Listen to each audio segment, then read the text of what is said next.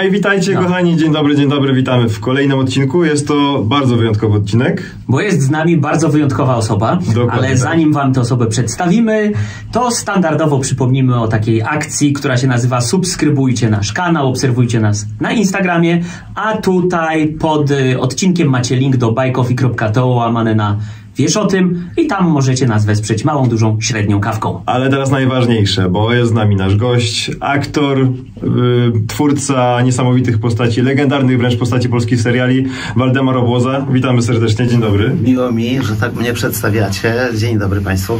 Słuchajcie, naszym zadaniem, e, jak już wiecie, jest to, żeby Wam przybliżyć e, pewne rzeczy, tak? Jak działają pewne zawody, co wykonują poszczególni przedstawiciele tych zawodów.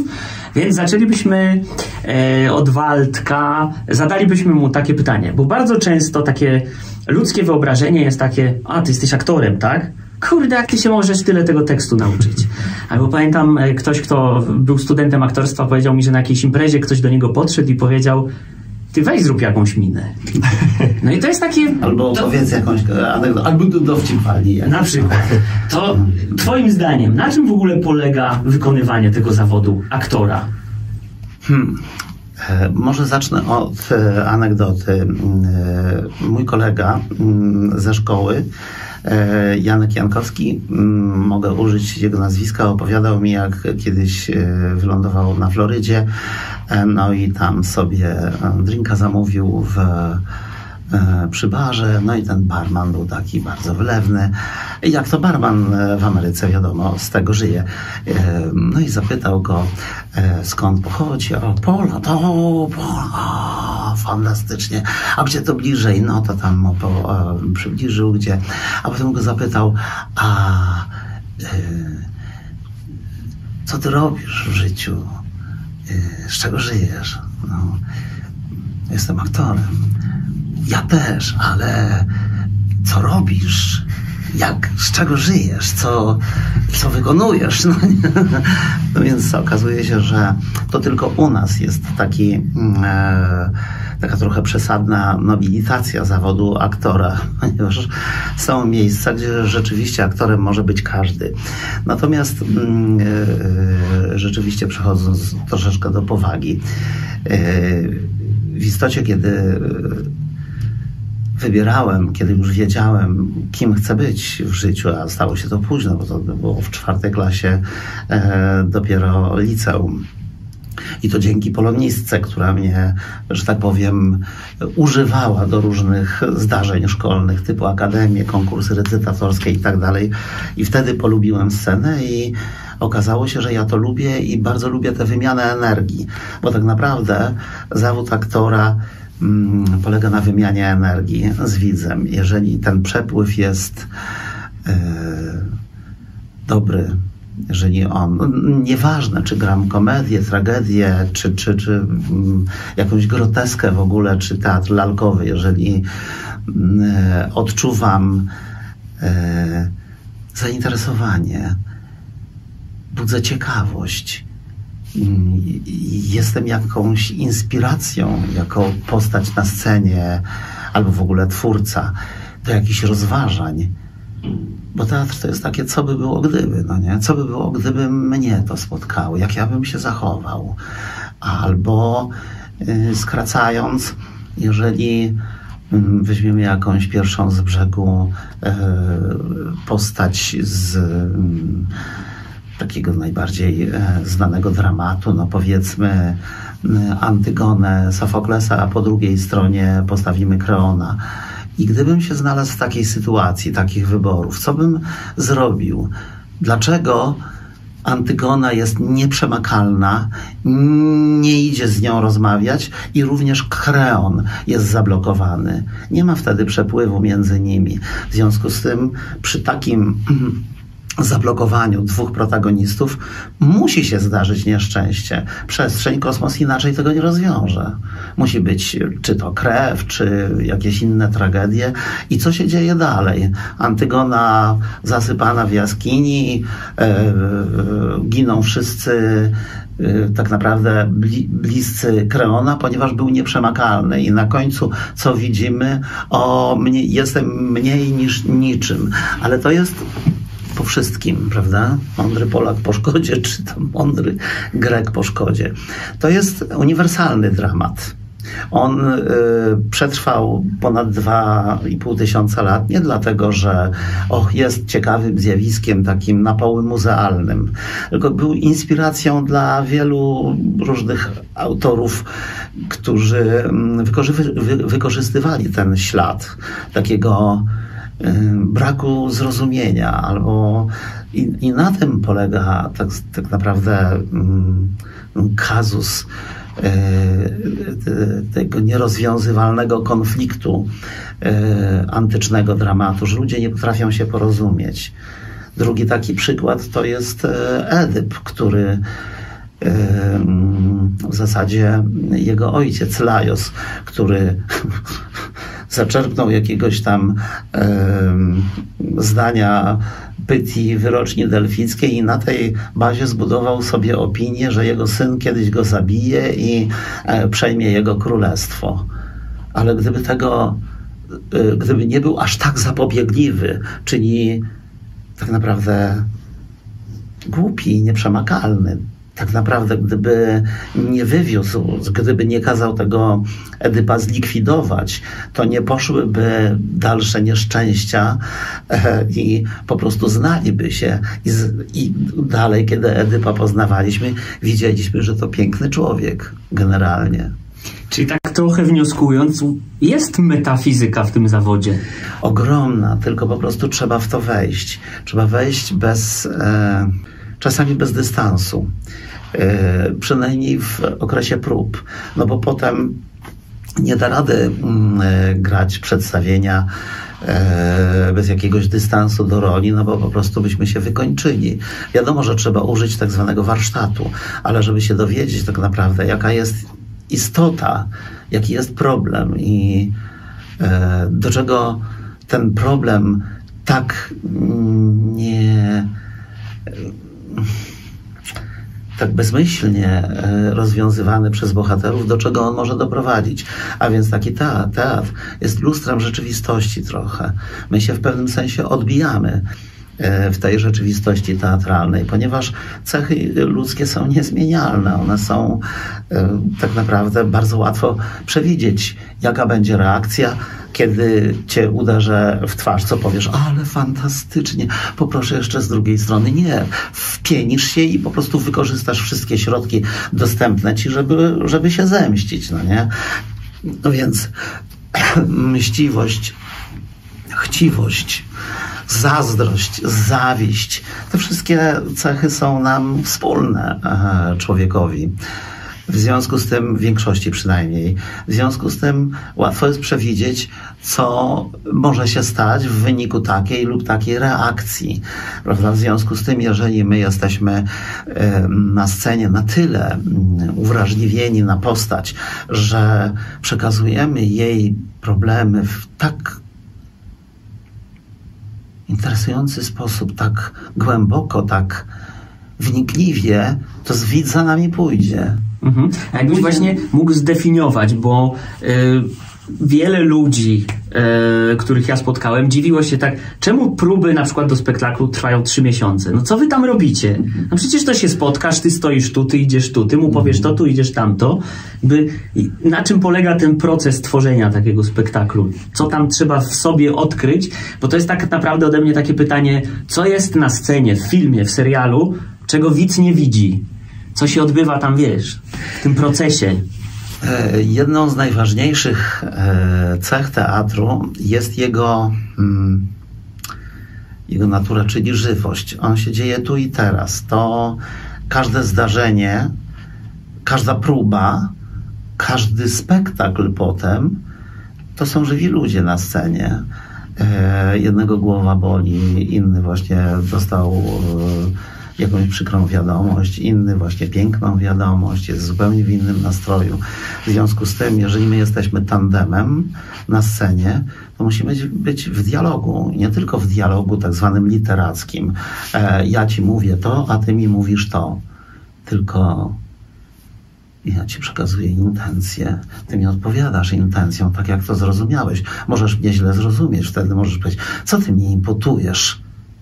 Dlaczego tak mnie traktujesz? Wtedy, kiedy mm, zachodzi to nieporozumienie i zależy mi na przyjaźni z tobą. Nie, źle mnie zrozumiałeś, królik. Źle. Chodziło mi o to, w związku z tym rozmawiamy ze sobą. I to nie jest tylko rozmowa tekstem, to jest rozmowa całym sobą, to jest rozmowa y, charakterem postaci. Y, y, interesami też postaci, bo rozmowę można prowadzić też w sposób perfidny, manipulacyjny, prawda? To też widz zobaczy, no bo, e, bo zna kontekst, powiedzmy, albo się go dowiaduje podczas sztuki. Ach, to, to o to skurczy synowi chodził no może nie taką reakcję użyję, ale jeszcze 200 mm, lat temu podejrzewam, że były jeszcze żywsze reakcje na widowni. E. Bywały też takie reakcje, że aktorzy umykali ze sceny w popłochu, bo byli obrzucani zgniłymi pomidorami, gdyż sztuka się na przykład nie podobała. Demokracja ateńska zdawała sobie sprawę, że człowiek nawet z ludu, ale z kulturą w jakimś sensie zaprzyjaźniony, do jakiego stopnia tę kulturę ubogaca. Chociażby poprzez to, że wizytuje ten teatr, że w tym uczestniczy. No, kochani, czy Leonardo da Vinci, czy, czy, czy, czy Chagall, czy kto istnieliby, gdyby nie ci, którzy zobaczyli piękno tych obrazów? Byłby taki e, e, Gauguin, czy tam jakiś inny Y, powiedzmy Matejko, gdyby po prostu się nie, nie znaleźli ludzie, którzy zobaczyli w tym cud, zobaczyli w tym artyzm. I ci widzowie też są artystami wtedy. Bo bez, bez, tego, bez tego pierwiastka artysty on nie dostrzegłby tych niuansów, które my nazywamy artyzmem. Istnieje, istnieją próby yy, namalowania przez inteligencję, przez sztuczną inteligencję obrazów. I te obrazy są doskonałe pod każdym względem, tylko nie mają ducha. Właśnie na tym cała rzecz polega, że aktora nie zastąpi żadna maszyna.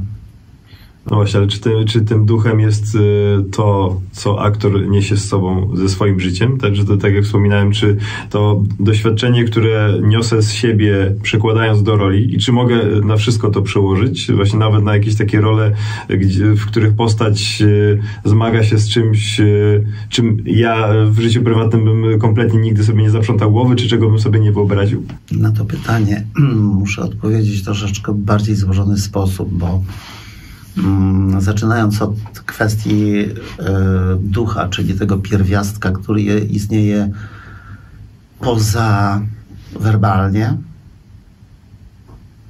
I to jest to, co nazywamy charyzmą często. I to jest to, że patrzymy na kogoś i nie możemy, nie możemy od niego oka oderwać, bo tak jest prawdziwy, sięgnął tak głęboko, zagarnął takie błoto spod, spod ziemi, w którym też oczywiście jest i piękno, bo jest cała historia, jest to, że i staje obok niego drugi i na niego się nie patrzy z jakiegoś powodu. Mm, ani ten, ani ten nie ma mm, nic y, zapisanego dodatkowo, tylko mm, jeden jest taki, drugi jest taki. Jeżeli ja miałbym zagrać Cześnika Raptusiewicza mm, w Akademii Teatralnej albo Rejenta Milczka, to zagrałbym tak zwaną wersję domniemaną. Natomiast jeżeli potem widziałem e, pana Wołejkę w roli e, rejenta Milczka, to ja byłem zafascynowany, bo po pierwsze, przepięknie L przedniojęzykowe, które po prostu ten tekst tak barwiło. Taka frenezja w mówieniu e, e, tego wiersza i delikatny dystans, delikatny dystans. Oto gram, oto bawię się z wami. Kochani widzowie, chodźcie, zapraszam was. Chodźcie do, do tej wspólnej zabawy. I to nie była dla mnie ramota. To było przedstawienie naprawdę wybitne. Już nie pamiętam, kto tam jeszcze grał, zdaje się, że pan Kondrat, ale starszy ojciec Papkina. Oni wszyscy byli świetnymi rzemieślnikami, ale jednocześnie grali to z taką pasją i z, ze swoim równorzędnym wiekiem, ze swoimi przeżyciami. Oni nie musieli być tacy jak te postaci, ale widzieli trochę świata. Poprzez każdy okres swojego dojrzewania, potem dorastania, potem przejrzewania, potem dzieci, rodzina i tak dalej, i tak dalej. Oni to wszystko widzieli, te wszystkie lęki, strachy i tak dalej, które tak naprawdę uruchamiają się w nas w momencie, kiedy tego nazbieramy, cały stopek. Wtedy dopiero wiemy tak naprawdę, co to znaczy lęk, na przykład o dziecko. Co to znaczy lęk o byt, co to znaczy lęk przed wojną. Co to jest no nie? To, wtedy to już jest, mm, e, to już jest e, bardziej empiryczne poznanie niż, niż takie, mm, takie powiedzmy teoretyczne. Także jeżeli Filip pytasz, do jakiego stopnia e, aktor, może bo tak sądzę, że tak, taki ślad tutaj przeczuwam, do jakiego stopnia aktor zbiera ze swoich doświadczeń elementy na rolę, czy środki na rolę, to można ich uzbierać bardzo mało. To są tak zwane kropki gdzieś tam. A, tego dotknąłem tak. Tam coś było takiego, mm, że, w, że ta emocja w ciele wyzwalała jakiś rodzaj mm, takiego lęku. O, przypominam sobie, że chyba oczy mi wysychały, tak że jeżeli dostaje straszną wiadomość, nie, to nie może być prawda. Jednocześnie pamiętam, że przyjmując tę prawdę, staram się zachować po męsku. Więc nie będę płakał, więc nie lunę łzami na scenie, tylko po prostu rozumiem. Będę walczył z tymi łzami. One są. One są w moim oku. Jest cały ten żal, ale mm, ja ich nie puszczę. Gdzieś tam zbliżam się do tego. Reszta to intuicja. I taka pasja, czyli chęć poznania. To jest takie, wiecie, jak ktoś mi mówi, a jestem aktorem, bo w ten sposób doznaję różnych e, mm, wrażeń, mogę być różnymi ludźmi jednocześnie to jest dosyć powierzchowne, aczkolwiek, aczkolwiek takie jest. To zależy, jak to zabrzmi, ale trochę tak jest. My mamy ciągle mało. Nie wiem, czy zauważyliście. Doznań, wrażeń. Jednocześnie bardzo lubimy coś poznawać. No weźmy mm, nasze zabawy w dzieciństwie, w piaskownicy. Czy przypominacie sobie, jakie to były kreacje? Jak się obsadzaliśmy rolami, no nie? I był samozwańczy reżyser. Gdzie nie? Ty przychodzisz do domu dopiero jak się upijesz. No, jak pijany będziesz, bo teraz to jeszcze nie masz po co przychodzić, bo tutaj matka musi się trochę podenerwować. To wszystko obserwacja była. Jak się matka zdenerwuje już zacznie wydzwaniać na policję, to ty możesz się pojawić przy drzwiach i wtedy usłyszysz awanturę od matki i tak dalej. No nie, to ktoś może to reżyserować, ale zobaczcie, to wszystko było może nie tyle za autopsji, tylko te dzieciaki, które, czy my jako dzieciaki, myśmy obserwowali w jakimś życie i w, w, pewnym sensie chcieliśmy go zrozumieć, narysować to życie, no nie? Narysować tego dorosłego w jakiś sposób, żeby pojąć te relacje, bo to było przecież dla nas bardzo często jakieś abstrakcyjne. I ja do dziś mam takie jakby pewne obrazy na pewne słowa, no nie? Nie wiem, kościół.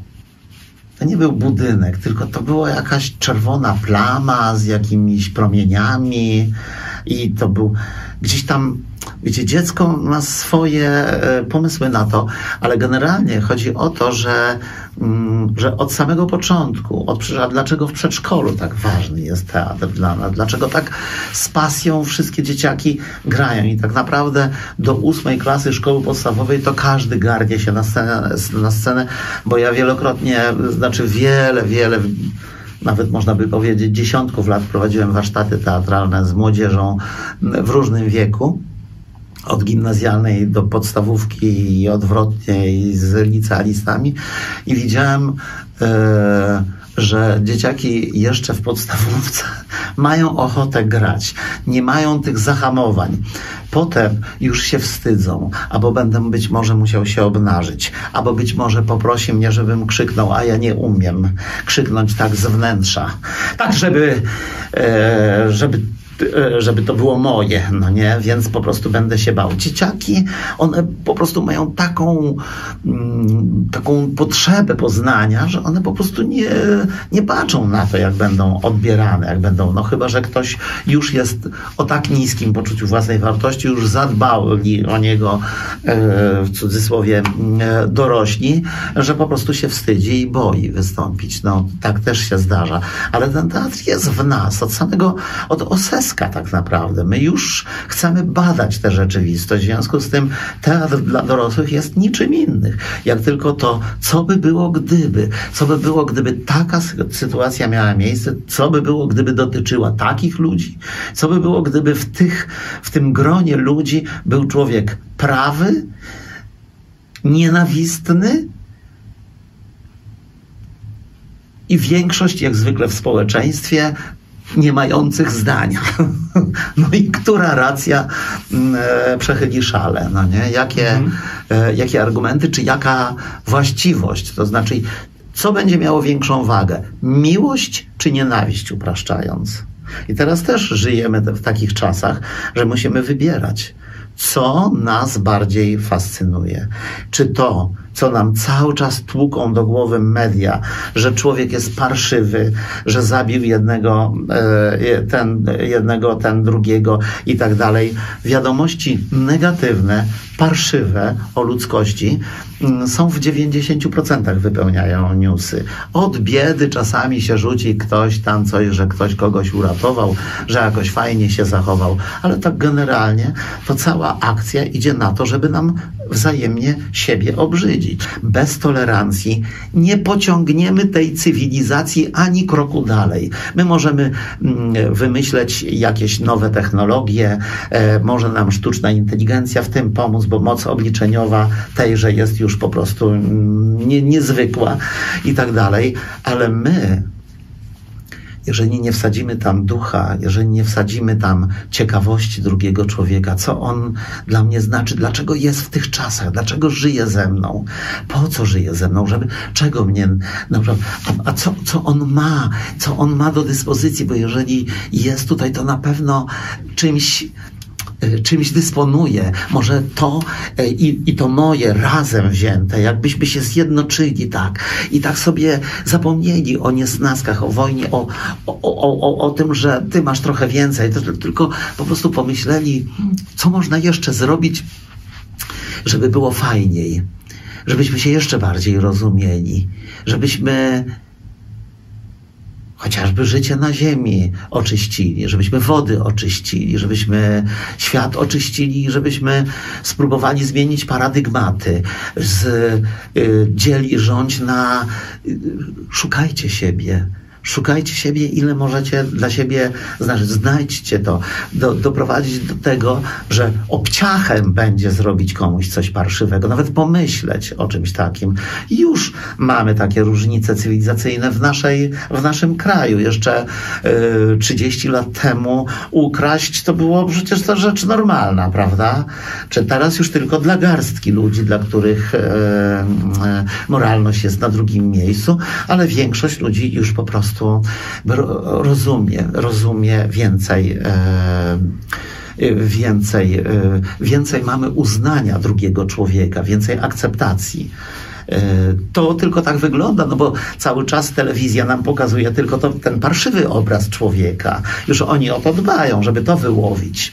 Właśnie rozmawialiśmy przed rozmową, wspomnieliśmy o tym a propos tych mediów i o tej negatywnej energii ze strony mediów, że zdobył się pan kiedyś na szczere wyznanie w mediach i w zasadzie spadła też na pana, na pana spadł jakiś taki ciężar skupiania się na tym negatywnym jakby świetle też jakby tej, tej historii. Tak. tak? To, jest, to jest coś takiego, ponieważ Mm, media, mm, znaczy mam wrażenie, że nieliczni dziennikarze tylko się rozwijają. Idą z duchem czasu i patrzą na przykład, mm, że aktor poza kliknięciami z y, tymi tysiącami tych kliknięć na Instagramie i tak dalej, jeszcze ma do dyspozycji jakieś swoje życie, jakieś przeżycia, którymi może się podzielić i w związku z tym tak jak w teatrze, co by było gdyby, może zatrzymać jakiś proces destrukcyjny chociaż jednego człowieka. Ja się ośmieliłem powiedzieć o moim uzależnieniu alkoholowym, które mam na szczęście za sobą e, ponad ćwierć wieku, e, ale też nie od razu się zdobyłem, tylko tak gdzieś po powiedzmy 15 latach ktoś mnie zapytał, no bo ja tam i, i użyłem tej swojej, powiedzmy, wiedzy, tej, tego doświadczenia w serialu i, i miałem taką łatwość i, i otrzymałem pewnego rodzaju wiarygodność. No więc e, z, zapytano mnie, bo tak e, krążyło to gdzieś tam pod spodem i ktoś tam mnie zapytał, no i zdecydowałem, że dobrze, to powiem. I powiem jak to było i powiem od czego się to zaczęło i jak wyglądało moje życie i e, co spowodowało, że ten alkohol stanął w moim życiu na takim ważnym miejscu i od kiedy zaczęło się to mścić, kiedy e, alkohol zabierał, za, zbierał swoje negatywne, że tak się wyraża, alegoryczne żniwo i co wtedy się stało, e, dlaczego przestałem pić, skąd znalazłem siłę, bo nie każdemu się to udaje i to było bardzo dużo materiału. Natomiast rzeczywiście stałem się wtedy co najmniej na rok naczelnym alkoholikiem kraju, czyli Waldemar Obłoza, alkoholik i aktor. Rozumiecie? Po prostu taki I to wszystko takie było e, takie, takie upraszczane, takie mm, absolutnie nie interesowała e, mediów treść, tylko do jakiego upodlenia na przykład doszedłem, w jakich wymiocinach się wytarzałem, żeby osiągnąć to swoje dno dno alkoholika nie musi być wcale drastyczne. On może źle zagrać przedstawienie, bo jest na kacu i już wystarczy. Inny, bo był zagrożeniem dla dziecka. Inny, bo ma tak dużą wrażliwość, przy okazji powiedziałem to o sobie, że dla niego dzieci i e, ich szczęście jest na tak ważnym miejscu, że właśnie zbiera z tego siły, zbiera taką moc, że przestaje pić, a potem się uczy żyć na trzeźwo. Bo to jest istotne, że jakby nie było nigdy ani słowa o tym, co zrobiłem, żeby, e, żeby to nowe życie, bez używania alkoholu w żadnym wypadku e, stało się również atrakcyjne. No więc ja poszedłem w duchowość, to znaczy zainteresowałem się sobą, kim jestem ja tutaj, co ja tutaj robię. To niemożliwe, żebym był tylko e, tą materią. E, poza tym, co mną porusza tak naprawdę, jaka to jest siła i cóż to jest za siła, do której ja się pomodliłem i zostałem wysłuchany, bo ja rzeczywiście byłem bezradny i e, wytworzyłem w sobie taką energię, którą zwerbalizowałbym, bo niekoniecznie musiałem się tak odzywać, ale intencjonalnie w wydobyłem w sobie taką energię rozpaczy. Boże, pomóż, bo nie dam rady. Nie wiem, jak to się stało. Nie piję. Tak samo było z e, fajkami i tak dalej, i tak dalej. E, ale to wcale nie znaczy, że moje życie stało się przez to lajtowe, piękne, bogate i tak dalej. Normalnie przeżywa się je, tylko po prostu trzeba, e, no bo życie nie jest nam dane po to, żebyśmy go sobie przeżyli jak ponczusie w maśle. Jeżeli ktoś wierzy e, w duszę, czyli, czyli w ogóle w ducha, który nami mm, porusza, to wie, że ten duch potrzebuje wrażeń. No nie? Że przez materię, przez te wcielenia my doświadczamy tego, czego nie dowiedzielibyśmy się w błogostanie. ponieważ błogostan jest błogostanem, a jeżeli cierpimy, kiedy zostaliśmy porzuceni, kiedy mamy mm, jakiś ból, ból, mm, ból wewnętrzny taki, z którym nie potrafimy sobie poradzić. To jest dopiero gratka dla duszy. No ale tu się wybrałem już w moje takie fantazje. Ale wiesz co, nie wybrałeś się, bo właśnie za, z, będziemy chcieli cię o to dopytać. Przy okazji mi się przypomniała, kiedyś opowiadałeś mi taką historię, jeżeli dobrze pamiętam, że jak już byłeś w Warszawie, byłeś w Teatrze Rozmaitości mhm. i też poprosiłeś o jakiś znak i pojawił się kotek. E, coś takiego no, mi opowiadałeś. To była taka sytuacja, że E, że ja byłem wtedy w Teatrze Rozmaitości, nastąpiła, nastąpiła zmiana dyrektora, bo mnie tutaj do Teatru e, Rozmaitości, wcześniej teraz TR Warszawa, ściągnął Piotr Cieplak. Do roli i ja już tam zostałem w tym teatrze e, z Poznania akurat. Musiałem sobie trochę życie przemeblować i tak dalej w związku z tym. No i potem mm, przyszedł Grzegorz Jarzyna, z którym miałem pierwsze spotkanie e, w mm, Księciu Myszkinia, tam grałem Tockiego. Tak nie do końca wiedziałem, czy spełniłem jego oczekiwania. To takie głupie, wiecie, kompleksy się wtedy rodzą i tak dalej, ale jednak byłem wtedy jeszcze tuż po e, rzuceniu picia, znaczy po, po podjęciu decyzji, że nie piję i jeszcze ten mój umysł, jeszcze to wszystko było takie troszeczkę chorawe i takie nie do końca wierzyłem w siebie.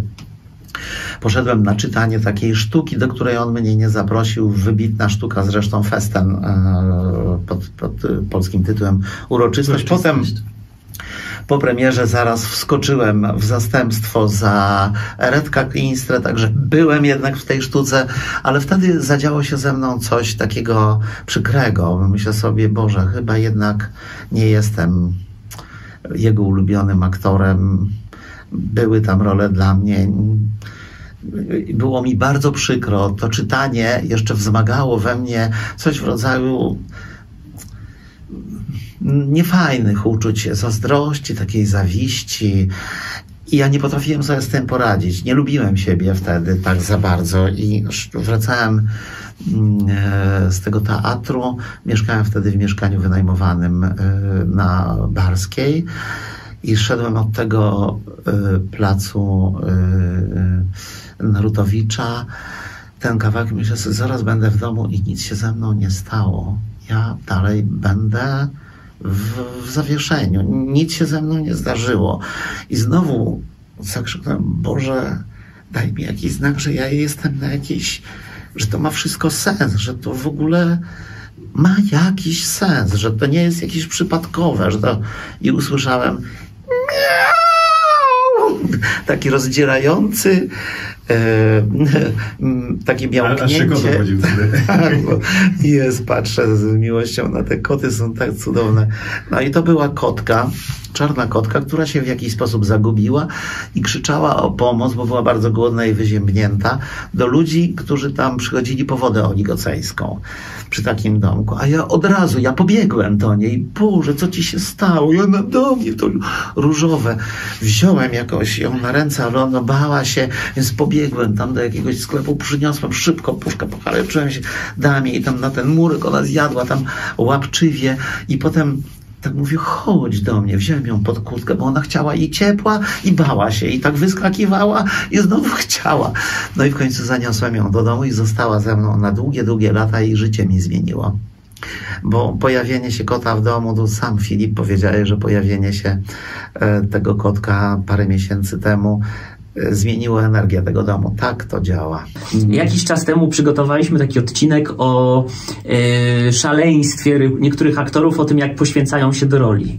No i mieliśmy na przykład De Niro, który jeździł tam na taksówce ileś miesięcy, wybił sobie zęby, czy tam spiłował. Daniel Day-Lewis, który nie spał dwa dni, kazał się polewać zimną wodą. Jakieś takie no totalne szaleństwo. Co ty sądzisz o takim podejściu do aktorstwa? Takim, że muszę to rzeczywiście przeżyć, żeby potem poszło akcja i żeby zagrać te emocje. Ja sądzę, jak David Mamet, to jest patologia. To nie jest potrzebne.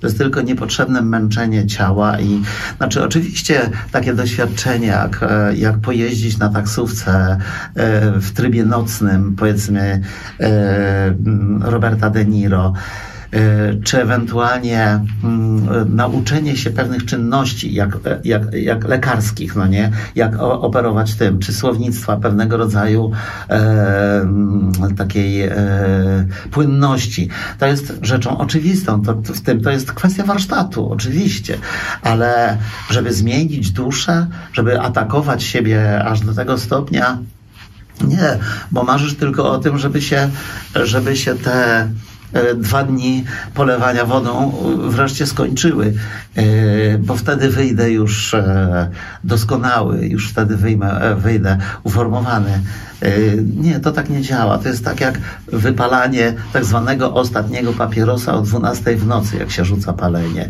Dobra, to jeszcze jednego i wypalasz pół paczki, łeb cię boli, e, wrzucasz tę paczkę do kibla, a na drugi dzień już gdzieś tak od 12 zaczynasz kombinować, a może by tak jednak od jutra rzucić, no nie, i tak dalej. Bo to nie w tym rzecz.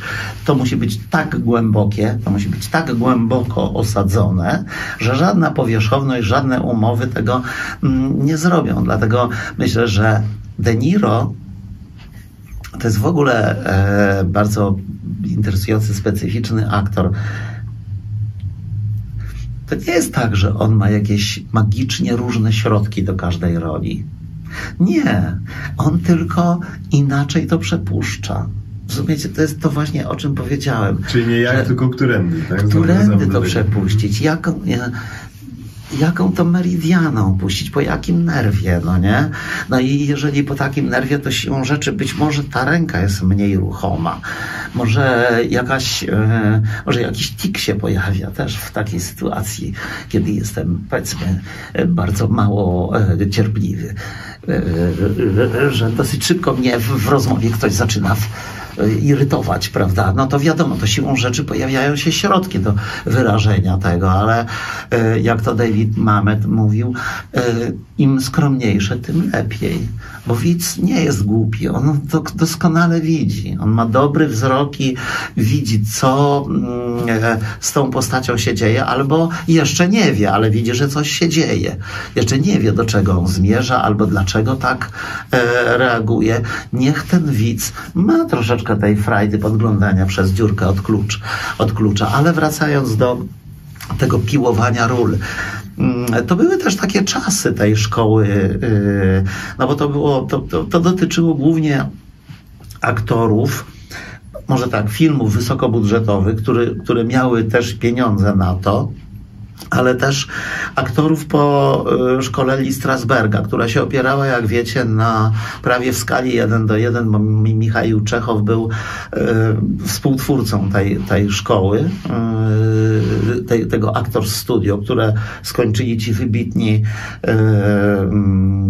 Meryl, Pacino, Al Pacino, De Niro, Shirley MacLaine, Brando. No to, to ci, ci wszyscy najwybitniejsi aktorzy i to się wiązało z unurzaniem właśnie no bo Konstanty Stanisławski, mm, no to taka ciekawostka, to była pewna koda. Był teatr do pewnego czasu, do końca XVIII wieku, bardzo schematyczny, on był bardzo rutynowy, a Konstanty Stanisławski, ponieważ stać go było na to, bo był e, z domu bogaty, więc e, założył sobie mchat i ze, ze swoimi aktorami eksperymentował ideę czwartej ściany, czyli co to by było, gdybyśmy się zamknęli, jakby e, gdybyśmy nie grali wobec widza, jak do tej pory się grywało. Aktor był tylko pretekstem.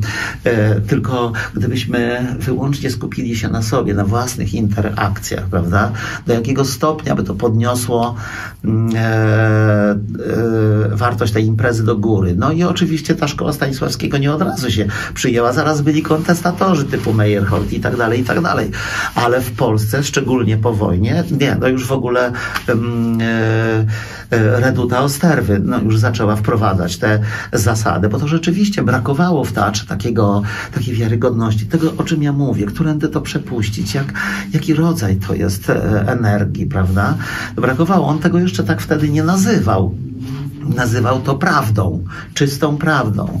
Jak, e, do jakiego stopnia? W związku z tym jeszcze dalej poszedł Grotowski ze swoim laboratorium i tam to już w ogóle... Niektórzy ludzie, mówią, że nawet za daleko. No, w pewnym momencie powiedział chłopak, no, ja dziękuję bardzo, wystarczy mi i uciekł do Meksyku i zostawił tych aktorów tacy, tacy rozgrzani, tacy wiesz, w tym poszukiwaniu niespełnieni.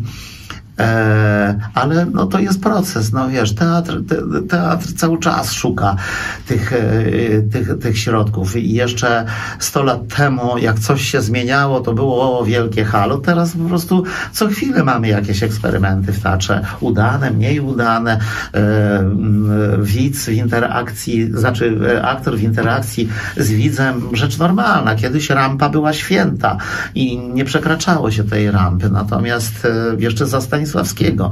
To było najwyżej tak zwana idea czwartej ściany, czyli wyobraźmy sobie, że nie ma widowni, tylko my jesteśmy sami w tym pokoju, ale nie odgradzało się przecież płotem widowni, prawda?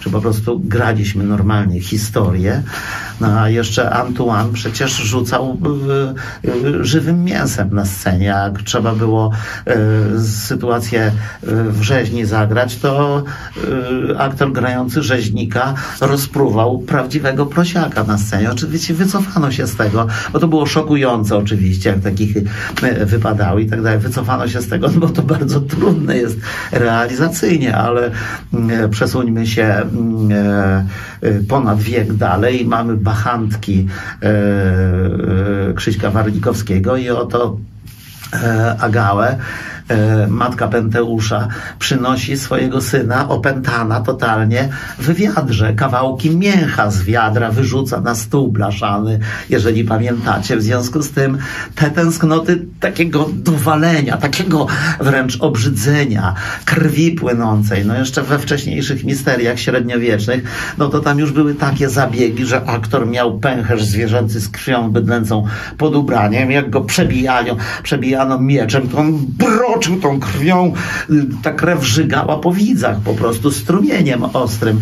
To, by, to, by, to, miało, mm, to, to miało cel wstrząsnąć wstrząsnąć tak, żeby ta publiczność wyszła z takiego misterium, to była rzadkość. Misteria były bardzo drogie w realizacji, ale tam przede wszystkim chodziło o pokazanie, jak grzesznik kończy, jak fatalnie, proszę bardzo, indoktrynacja przy okazji, prawda, teatralna. Zresztą cały czas to się odbywa, no bo każdy reżyser ma jakąś ideę indoktrynacyjną, jakby chciał, żeby świat widział, e, e, wyglądał i tak dalej, i tak dalej. No więc wiesz, w tych misteriach z drugiej strony był święty, wycacany, wypielęgnowany, wypielęgnowany, jak on umierał, to pięknie, to nawet się nie spocił, więc jaka tam krewy, no, że po prostu chodziło po prostu też o stan e, wyposażenia umysłów e, ludzi. No, w, w teatrze antycznym w ogóle się nie używało, w ogóle nie było scen walk, żadnych krwi i tak dalej. To wszystko było sympatyczne, to wszystko było wielkie, to było wszystko w melorecytacji przekazane po prostu jako filozofię i oni się tym fascynowali. Natomiast widz e, oderwany od pługa gdzieś tam 30 kilometrów na osiołku przyjechał e, i zobaczył misterium, no to czapkę zdejmował jak szedł aktor grający świętego i tak dalej w skali 1 do 1 traktowali to przedstawienie. Także słuchajcie, teatr, teatr rozwija się wszędzie, w różnych kierunkach, nawet w Bangladeszu. Uważają, że ich teatr jest jednym z najlepszych na świecie. I tak należy to uznać. Tak, bo mm, jak to Krzysiek Warlikowski powiedział w jakimś swoim wywiadzie, największym przeciwnikiem teatru jest sam teatr. Znaczy, jeżeli roz, rozmiłujemy siebie w tym teatrze, jak ja jestem fajny, jeszcze udzielę paru wywiadów, no jak, jeszcze sobie tam poprawię niektóre rzeczy, no nie, tutaj sobie wstrzyknę, tutaj coś jest fantastycznie. Jeżeli się rozkochuję, ja siebie widzę w tym teatrze jako takiego, no to myślę, że to jest błąd pewien. Niektórym się to podoba, wystarcza i tak dalej, ale yy, ja myślę, że ilość kliknięć dobrze, ważna rzecz we współczesnym świecie, ale niech ona nie będzie kryterium, na przykład obsadowym i tak dalej, i tak dalej, bo ta ona jest rozpoznawalna, bo ona ma to i tak dalej. Tylko niech to będzie pasja. To my do tej rozpoznawalności. Tak, Teraz właśnie chyba chciałem, odbijemy. tak, ja chciałem właśnie do tego odbić, trochę zostając w sumie w teatrze, tylko troszkę pod innym względem realizacyjnym, bo podobno, tak słyszałem chyba, że Miodowe Lata były kręcone w teatrze, tak, y, na deskach te- z te- Teatru Tak, To Żydowskiego było bardzo dobre, ciekawe rozwiązanie. i widownia była też prawdziwa, Widownia tak? była na widowni, natomiast myśmy kręcili do kamer, które stały tu przed widownią na scenie. I to było bardzo zmyłkowe, bo oczywiście te główne postaci to oni mieli tuż obcykane, ale jak ktoś przychodził z zewnątrz, to przede wszystkim ta widownia ciągnęła do grania większego, poza kamerę. W związku z tym człowiek się obnażał z jakimiś nadśrodkami. Ja też miałem parę takich wpadek. Potem się już tego nauczyłem, trzymałem się w pewnej dyscyplinie. E, więc rzeczywiście w Teatrze Żydowskim to Maciek Wojtyszko wymyślił świetną konwencję, że, e, że ten sitcom to był jeden z pierwszych sitcomów, w zasadzie tak, drugi taki poważny po tam 13 posterunku. E, Który miał wtedy dźwięk z puszki, a wy mieliście. a myśmy mieli dźwięk naturalny, to znaczy To zawsze była śmiechy, widownia? Zawsze była- zawsze była widownia i czasami nawet jeżeli e, najczęściej Maciek mówił, że najczęściej wchodziło ostatnie nagranie. Najczęściej. A niektóre dodatki, jakieś takie techniczne na przykład, światło źle się położyło czy coś, no to brali z innych nagrań. A czasami nawet z tak zwanego pustego, bez, e, bez widowni, bo było cztery nagrania w sumie chyba. Już nie pamiętam, to było bardzo dawno. Bez y, przerw, bez cięć na duble, tylko jakby lecieliście całe... Całościami, Całościami, tak. Całe, całe, całe, całe były grane sekwencje. Mhm, okej. No tak było fajnie, bo, bo też energia e, już zostawała, jak się wiecie, przerywa i tak dalej, no to wiadomo. Mnie się to podobało, to była bardzo fajna przygoda.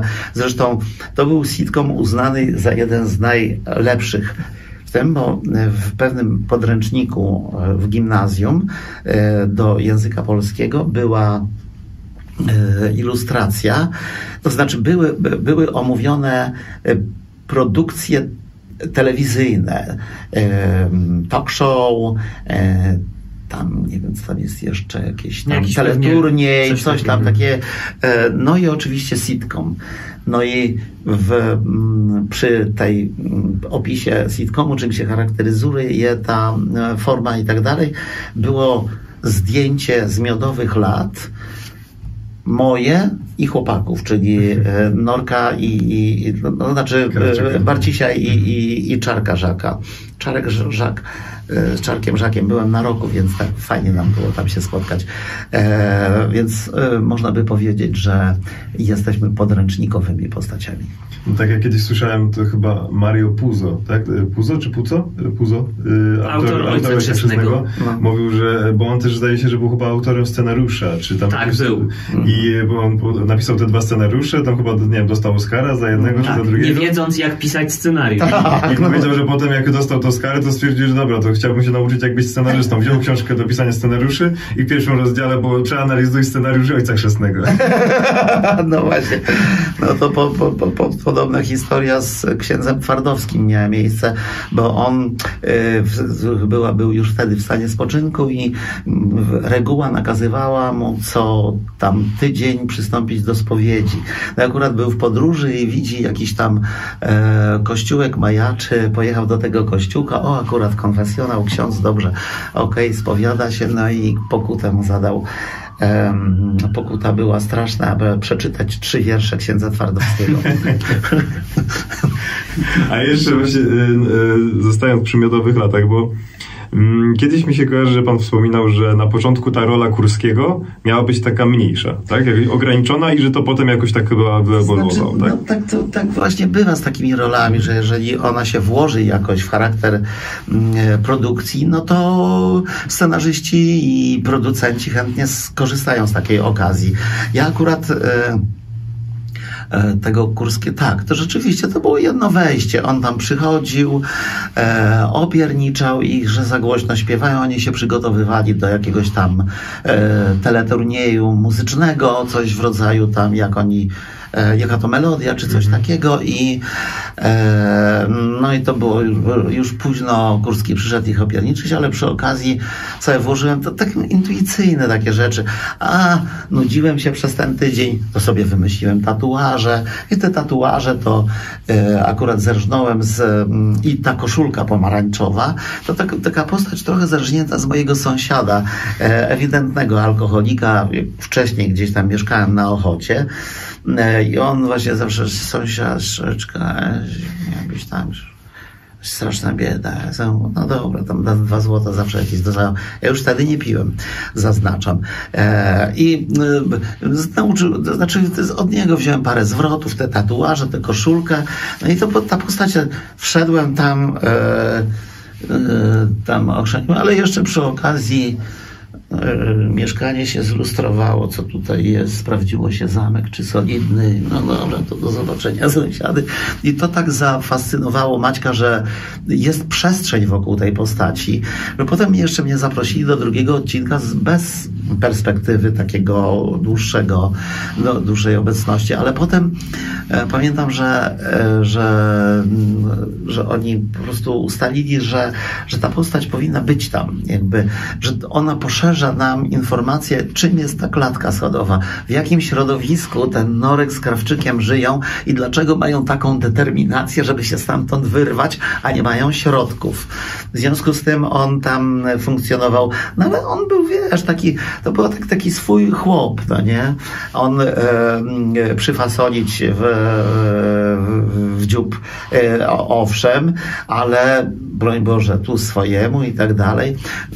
I romantyk, romantyczny i romantyk, tak, tak. No potem to już do, do, dostał parę jeszcze dodatkowych cech. Ja sam tam napisałem dwa treatmenty chyba e, do tego, także tam jeden odcinek to na pewno był mój. E, Kurski zakochuje się w mamuśce i tam z Wojtkiem Pokorą, który świętej pamięci, który grał e, teścia, e, teścia męża, znaczy męża e, mamuśki i okazuje się, że mieli wspólną przeszłość z Kurskim, bo on był e, kierownikiem poprawczaka, w którym Kurski przebywał we wczesnej młodości. Więc to było wszystko takie naprawdę, to było bardzo przyjemne. Miodowe lata wspominam jako niezwykle niezwykłą przede wszystkim przygodę. Dyscyplina, nie było tam takiego, wiecie, dowcipu z podpachy. Naprawdę szlachetne, szlachetny produkt w swoim stylu.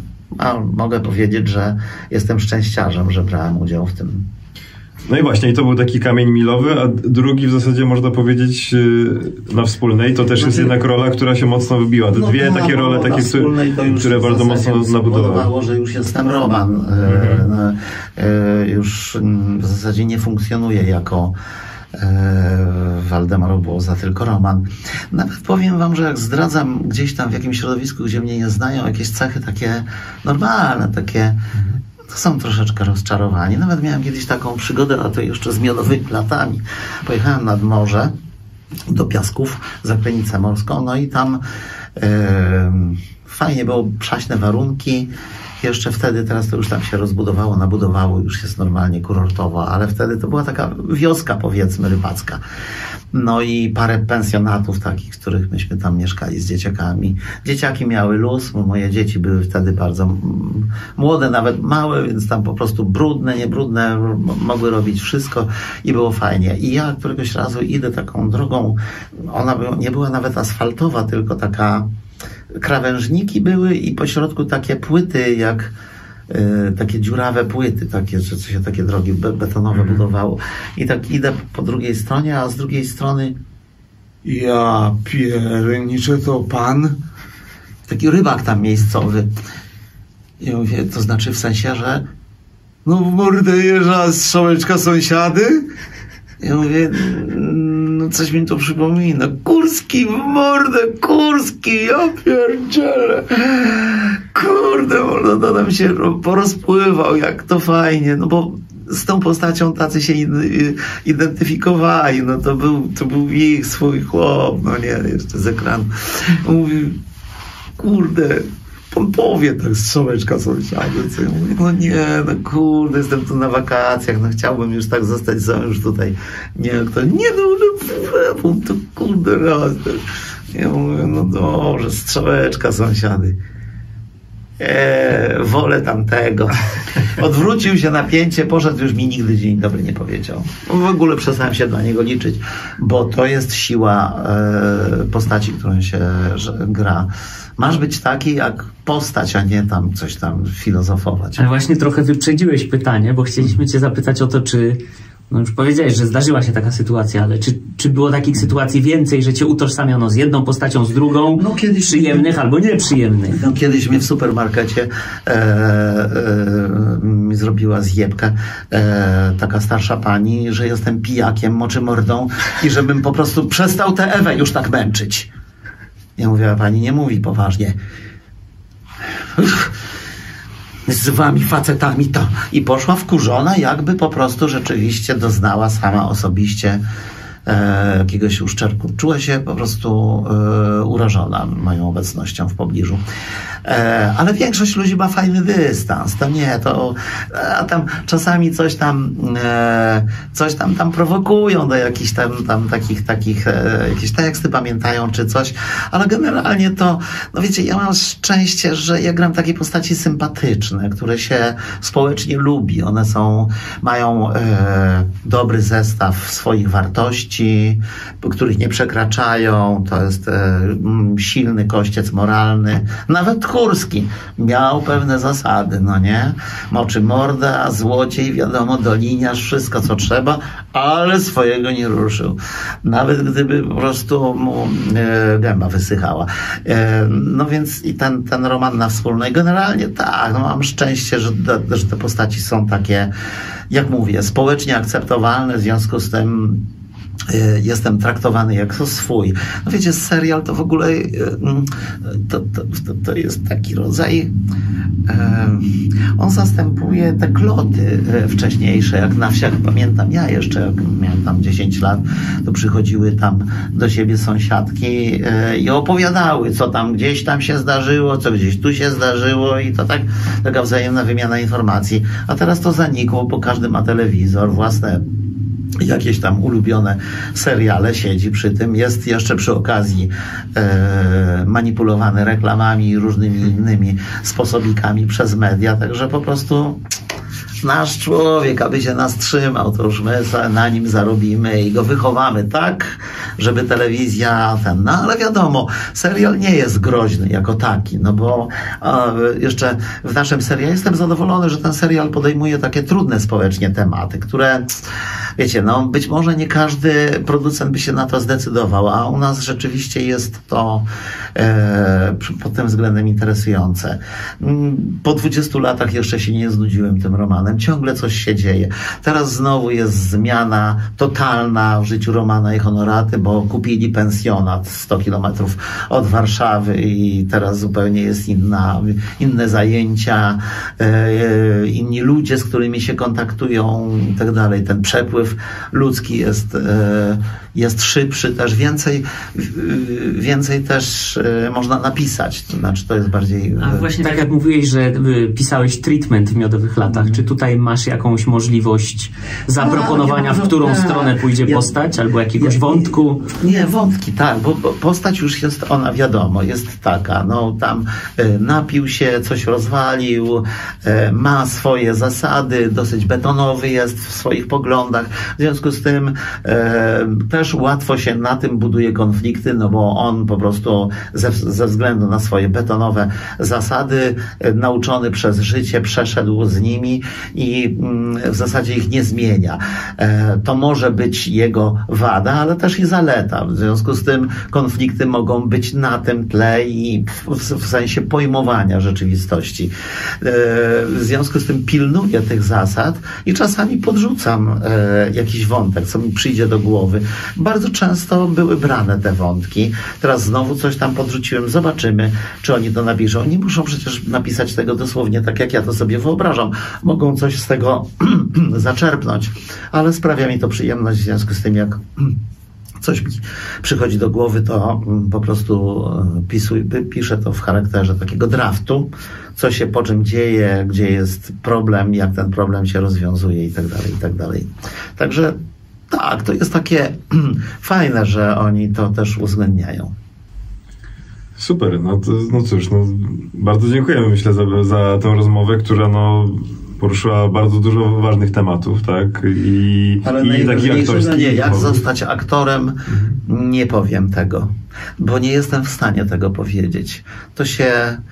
Mm, myślisz, że jesteś aktorem po ukończeniu szkoły teatralnej, jeszcze nie jesteś. Dopiero po paru tak zwanych krokach milowych, to są role.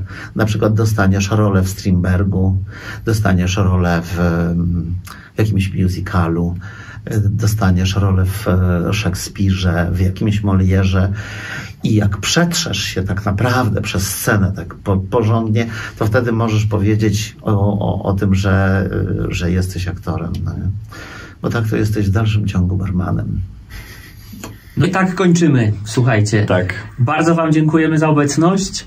E, przypominamy o możliwości subskrybowania, przypominamy o buycoffee.to. To jest bardzo link. fajna rola, subskry- klikanie subskrypcji, klikanie klikanie obserwacji. subskrypcji i dzięki właśnie takim wsparciom pod, e, powstają odcinki takie jak ten i dzięki takim odcinkom jak ten macie możliwość wejrzenia właśnie na backstage różnych zawodów.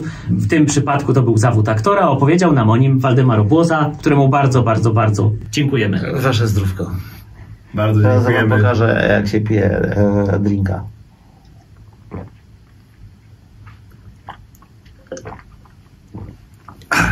I tak kończymy. Dzięki wielkie, do usłyszenia, do zobaczenia.